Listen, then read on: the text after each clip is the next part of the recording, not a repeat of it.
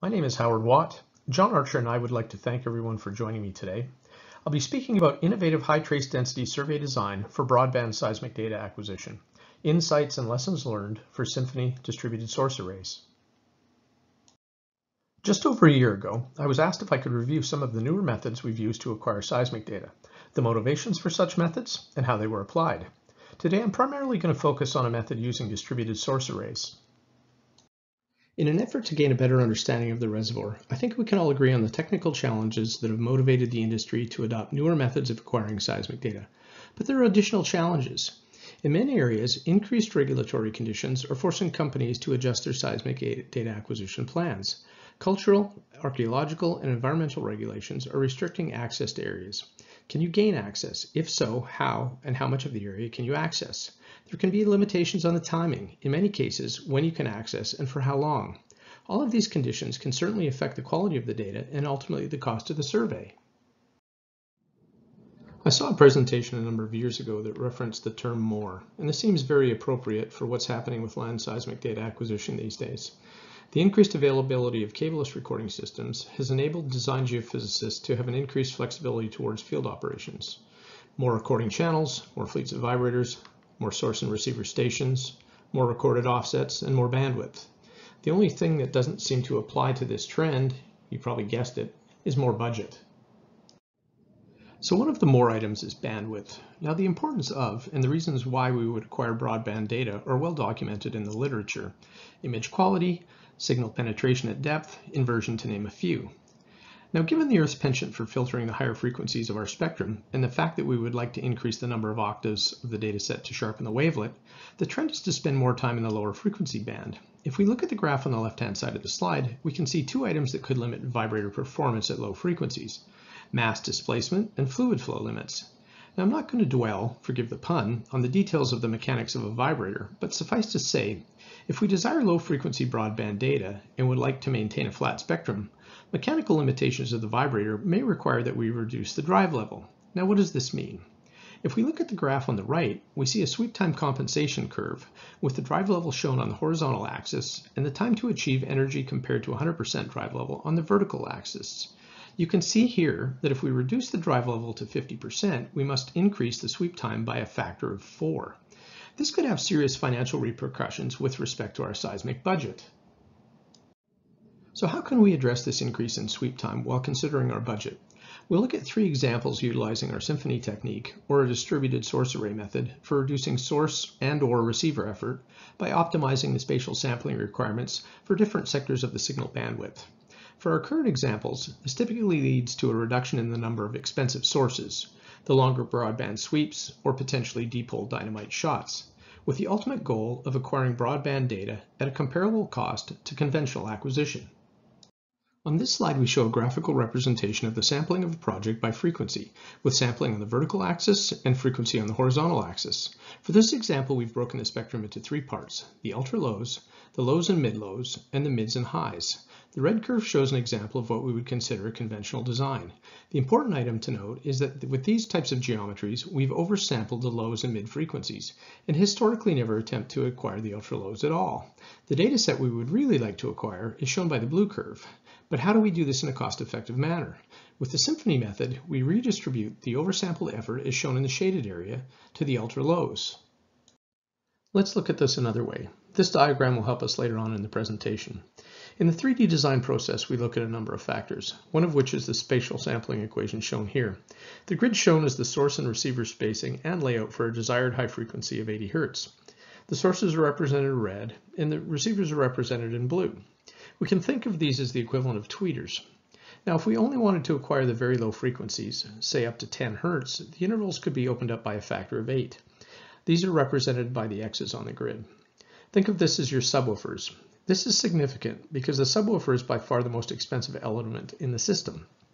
This is the equivalent to the very long, low dwell Vibroseis sweeps or the deep dipole dynamite charges. We can ultimately save a lot of effort and cost by not having to use a subwoofer at every tweeter location. Our first example is a 2D test line near the Texas-Mexico border just southwest of San Antonio. The base parameters have a receiver interval of 5 meters, a source interval of 10 meters, using a fleet of four vibrators shaking an 8 to 100 Hz 18 second sweep. The diagram on the left is basically a schematic of what we've coined the symphony score, with the corresponding amplitude spectrums of the different sweeps displayed on the diagram on the right. The score shows a sequence of eight VPs broken into, in this case, four different frequency bands. Each note represents a single source or vibrator point location, and the spacing between each point is arranged such that the spatial sampling requirements for each frequency band is met. Simply put, we don't need to acquire low frequencies at each source location, so better to spend our money elsewhere. As mentioned on the previous slide, the customer's reference sweep was an 18 second 8 to 100 Hz sweep, which gives us 3.64 octaves of bandwidth. Our goal is to create a symphony score that improves the number of swept octaves, but doesn't significantly increase the operational time. With a goal of 6 octaves of bandwidth, we utilize a bass or ultra-low sweep starting at 1.5 Hz through 100 Hz, or the end frequency of the original customer project sweep. Now keeping in mind our earlier discussion on vibrator limitations, we'll have to reduce the drive level at the very low frequencies, which results in an increased sweep length that is double the original sweep, or 36 seconds. We've also partitioned the score into mid and high ranges, maintaining the output of the linear part of the sweep, keeping the rate of change of frequency similar for each band. At the bottom of the diagram on the left, you can see the musical instrument representation of the score. We have a single 36 second 1.5 to 100 Hz sweep represented by the bass, a single 18 second 8 to 100 Hz sweep represented by the cello, two 16 second 20 to 100 Hz sweeps represented by the violas, and then finally four 12 second 40 to 100 Hz sweeps represented by the violins. So remember that the goal of the method is to allow us to acquire broadband seismic data at a comparable cost to a conventional dataset. On this slide, we'll look at the sweep effort comparisons for three cases. Acquiring the 2D line utilizing the customer's original 18 second 8 to 100 Hz sweep, then again using a full broadband solution or shaking the entire line with a 36 second 1.5 to 100 Hz sweep, and then a third time with the Symphony broadband solution. This utilizes the score from the previous slide. Looking at the top of the diagram on the left, or the conventional sweep score, we see that a sequence of 8 VPs takes a total of 144 seconds. Subsequently, utilizing the full broadband solution, moving from 3.64 octaves to 6 octaves of bandwidth, we have a total sweep time of 288 seconds. This is obvious as each sweep has increased from 18 seconds to 36 seconds. And then finally the symphony score, which only takes 134 seconds. As mentioned earlier, our goal is to redistribute time from the oversampled part of the traditional design to compensate for the increased effort at the very low frequencies. If we compare the symphony score to the conventional acquisition design, we gain over 2.3 octaves of bandwidth, but we have an increase in efficiency of about 7%. If we compare this to the full broadband solution, we have the same bandwidth, but it takes less than half the sweep time. This begs the question, is there an improvement in bandwidth and data quality? Here we have the results of our proof of concept test. In the interest of time, I'll only show the comparison of the broadband portion of the test. On the left, we show the data from the full broadband acquisition, where each source point was acquired with a 36 second, 1.5 to 100 Hz sweep. It took a total of 19 hours to acquire. On the right side, we have the Symphony broadband solution. This was acquired using the score shown on the previous slides. The important item to note is that the Symphony acquisition took less than half the amount of time to complete, or 8.9 hours, versus the 19 hours of the full broadband solution. Looking at the two images, there's no noticeable difference. In fact, on some of the additional work we've done with the data, we've noticed that the Symphony dataset appears to have a slightly higher frequency content. We've postulated that this could be due to the fact that the low frequency broadband sweeps tend to introduce more ground roll, and this could potentially occur at each source location. In an effort to mitigate this noise during processing, we might actually be compromising some of the higher frequencies of the dataset. With the Symphony solution, more than half of the sweeps tend to have little or no ground roll, so this seems to be a reasonable explanation. Our second example is the 348 square kilometer Spondylus project, recorded for Beach Energy in the Cooper Eromanga Basin in east central Australia. The outline is shown in blue. This area is complicated by several environmental, operational, and geologic impediments.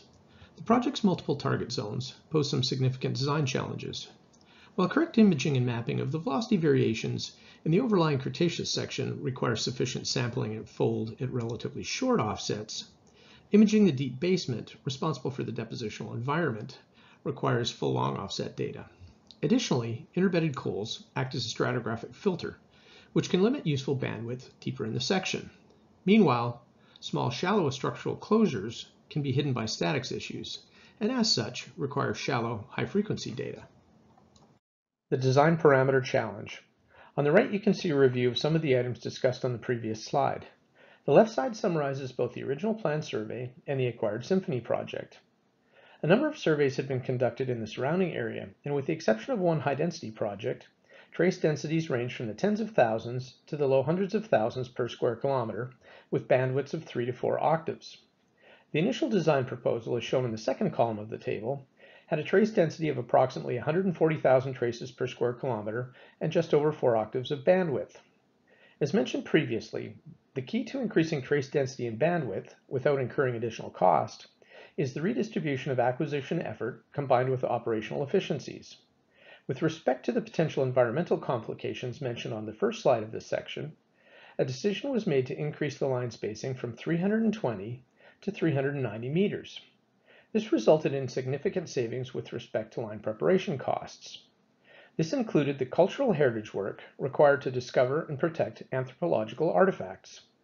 In turn, we reduced the source interval from 40 meters to 30 meters, and the receiver interval from 40 meters to 15 meters. The increased receiver density was facilitated by the use of a truly cableless recording system with an internal high-performance geophone. Finally, the crew was configured with 20,000 recording channels, resulting in an increase in recorded offsets from around 2,250 meters to 3,500 meters allowing for improved imaging of the deep basement structure. In addition to the increased recorded offsets, the Symphony design resulted in an increased trace density from 140,000 to 800,000 traces per square kilometer, and an increase in bandwidth of approximately 2 octaves. The Symphony score. As mentioned, the plan survey covered 4 octaves of bandwidth. The revised Symphony design increases this to 6. As with the first test, test example, we can see that four sweeps comprise the 8-note or 8VP score, a single 15-second 1.5 to 96 Hz sweep, a single 10-second 5 to 96 Hz sweep, two 8-second 20 to 96 Hz sweeps, and four 6-second 40 to 96 Hz sweeps. The VPs are spaced at 30 meters as opposed to the original design consideration of 40 meters. At the bottom of the slide, you can see a comparison of the sweep effort per linear kilometer. The Symphony score is approximately 10% shorter as compared to the planned or conventional acquisition, whereas a full broadband sweep at each VP would increase the acquisition time by 50% over the conventional design. So from a data perspective, what does this look like? At the start of the 3D, we acquired a 2D test line to compare the conventional sweep against the Symphony sweeps. All other acquisition parameters, including the total source time per kilometer, were identical. Here we have a fast track stack comparing the conventional 5 to 96 Hz dataset against the Symphony 1.5 to 96 Hz data acquisition.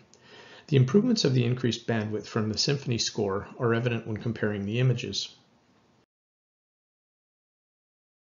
Continuing with the theme of the previous slide, this set of five slides will show a data example from the 3D illustrating the benefits of increased bandwidth on the image. Here we have a raw PSTM display that shows an image created from the data generated by sweep number 4, or the 6-second 40 to 96 Hz sweep. This is a bandwidth slightly greater than 1 octave. The following set of slides will show the summation of the individual sweep bands. The bottom of each slide shows the total number of swept octaves. Here we see the combination of sweep 3 and 4, or the resulting total bandwidth of 20 to 96 Hz, which is slightly over 2 octaves. Here we see the combination of sweeps 2, 3, and 4, or the resulting total bandwidth of 5 to 96 Hz, which is slightly over 4 octaves. One should note that this is the same bandwidth as the original planned conventional acquisition. And finally, the full symphony broadband solution, 1.5 to 96 Hertz, or 6 octaves of bandwidth.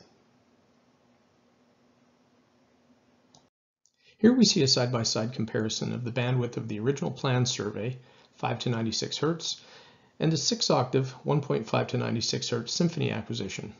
As expected, we can see improved detail and sharpness with the increase in bandwidth.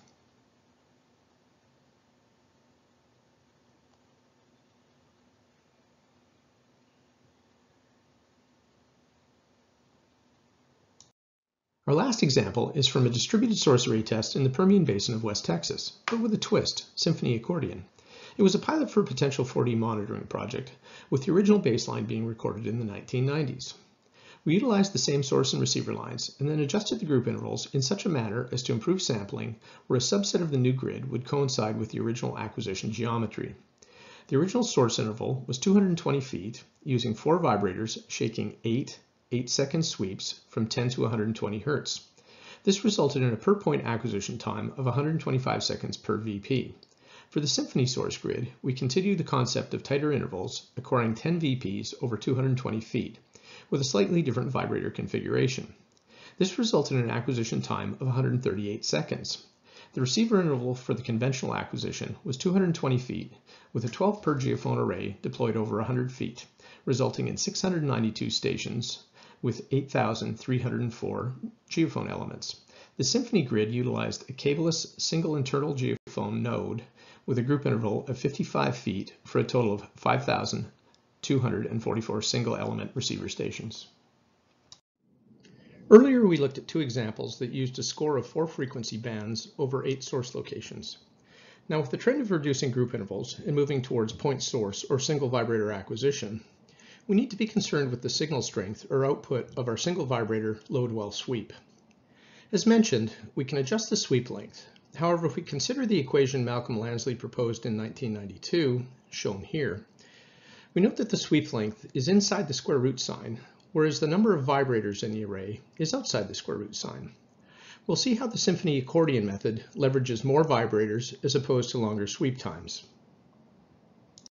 For our Permian Basin test, the diagram at the top of the slide shows the geometry for our 10 VP locations. Keep in mind that the set of 10 VPs is spaced out over 220 feet. The schematic for the Symphony score is shown at the bottom of the slide. We will shake three different sweeps, sweep S3, an 8 second 20 to 120 Hz sweep with a single vibrator, Sweep S2, a 10 second 1.5 to 120 Hz sweep with a single vibrator, and Sweep S1, a 10 second 1.5 to 120 Hz sweep with four vibrators. John Archer and I created the following animation to illustrate how the accordion method works. The idea is that we make our best effort to always have a vibrator shaking. As you'll see the geometry is set up that all four vibrators coalesce to acquire the low dwell sweep and as such, we don't have to have the long sweep time to maintain our signal strength. This is due to the four vibrators in the array. Subsequently, the vibrators move independently to acquire other sweeps in the score, coming together again at the next S1 VP location. Vibrator 1 moves to its sweep location and begins to shake sweep S2. As this is happening, the other vibrators are moving to their programmed locations. When Vib 1 completes its sweep, vibrator number 2 starts shaking sweep S3.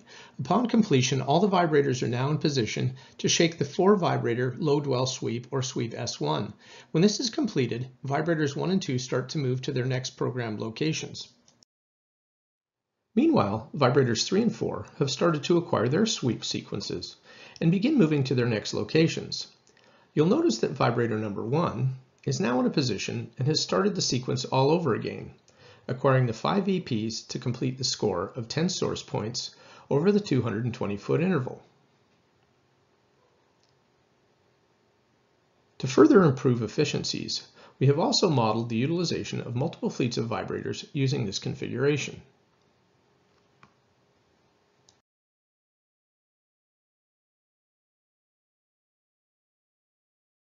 Here we see a comparison of the legacy 1996 acquisition on the left and the DSA or Symphony acquisition on the right.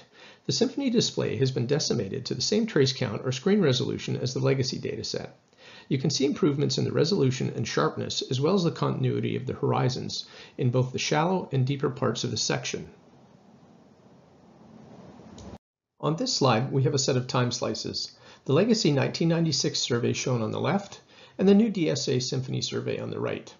The Broadband Symphony acquisition shows a definite improvement in the sharpness or resolution of the features shown in these slices.